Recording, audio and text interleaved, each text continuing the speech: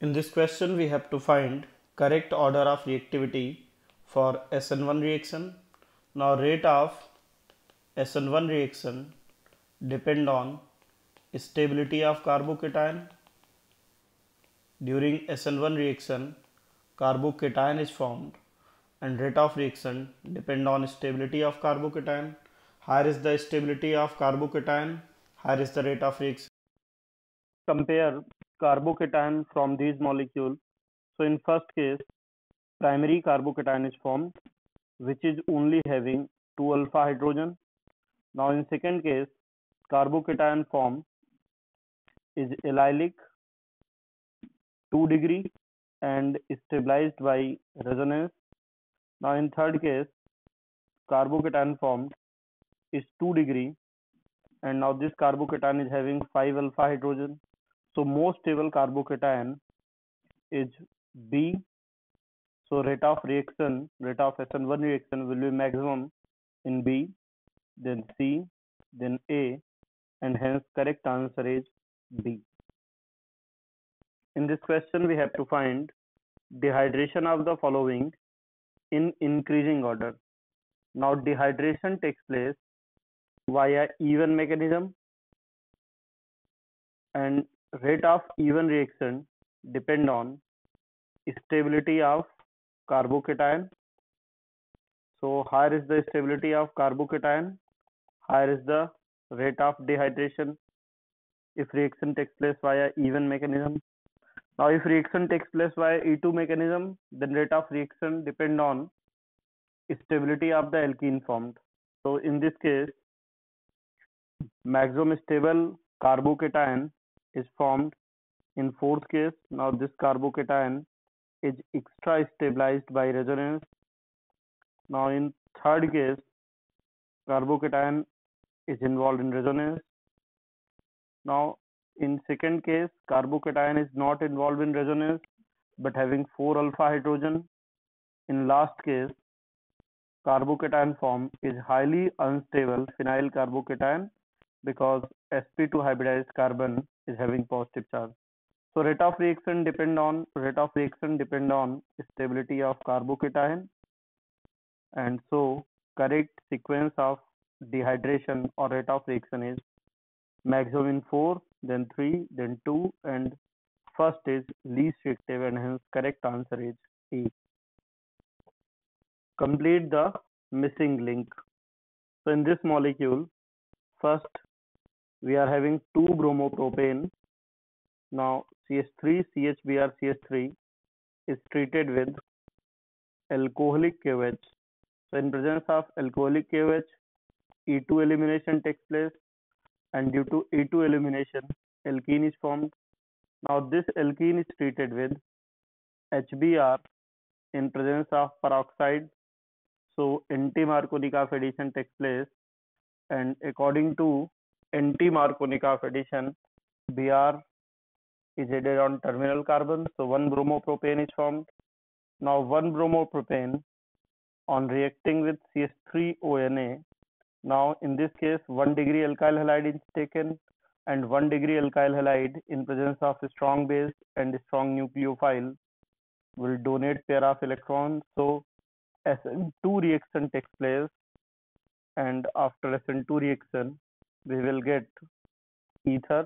So 1 2 3 1 methoxy propane is formed as a final product.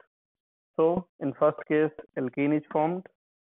Then second case we get one bromopropane.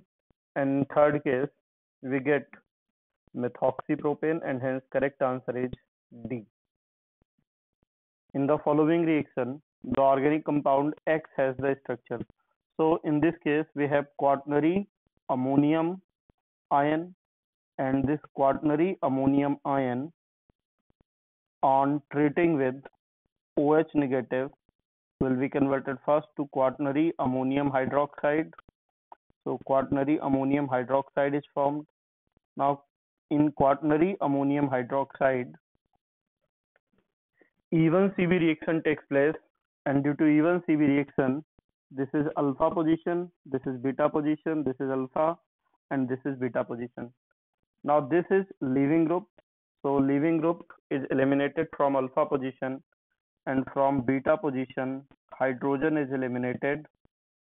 So after E1cB reaction, now this is the final product form. Unsaturation is created and two methyl groups are still attached. Water molecule is eliminated and hence correct answer is C. In this question, we have to find incorrect statement regarding maltose. So maltose is disaccharide of alpha D-glucose. So two alpha D-glucose molecule combine to form maltose. Now these are having C1 and C4 linkage. Maltose is composed of two D-glucose units. This is correct statement. C1 of one glucose is linked with C4 of other unit. This is also correct. For example, 1, 2, 3, 4. So this is C4 and other is 1, 2, 3, 4, 5 and 6. So C1 and C4 linkage is present.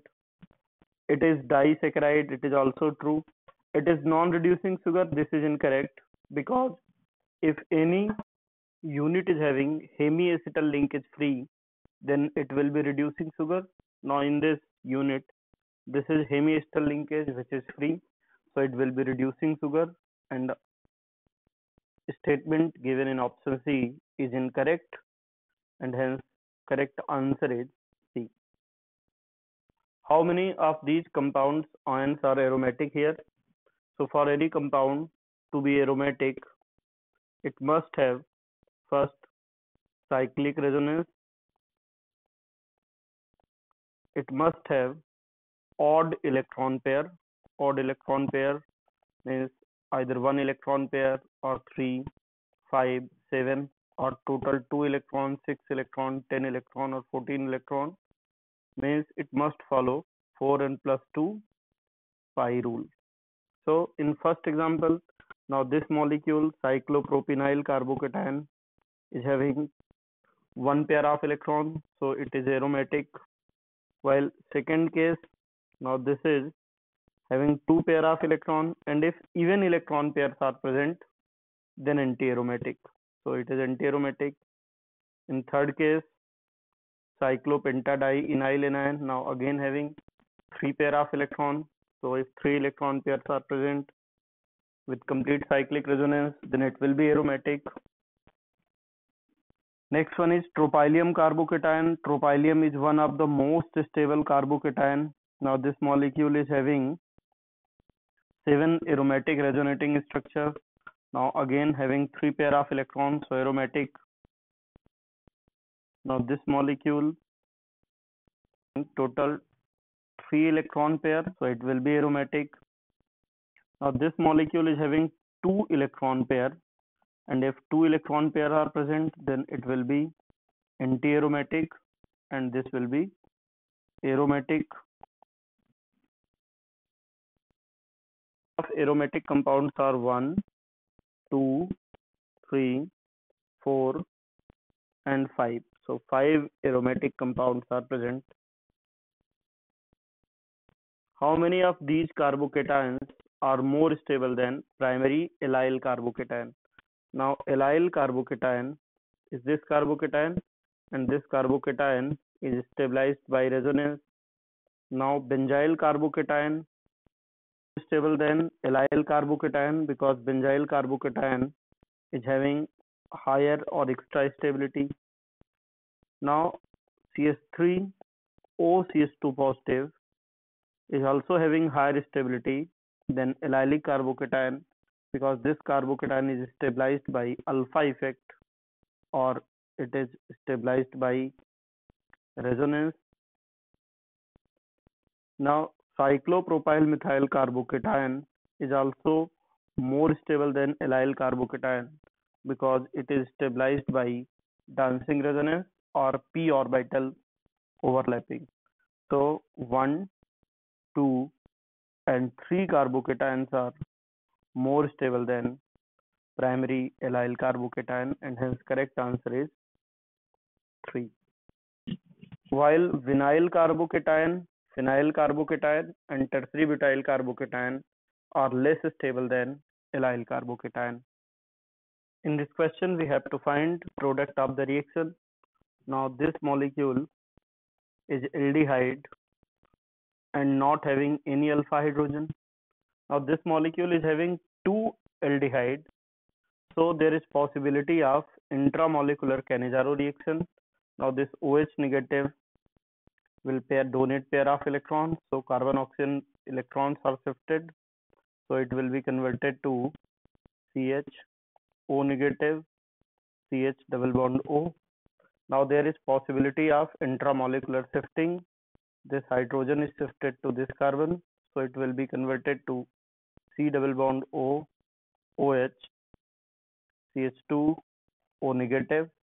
Now there is possibility of acid base reaction. So it will be converted to carboxylate anion along with formation of CH2OH. Now in presence of sodium, it will be converted to sodium salt. So correct answer is C.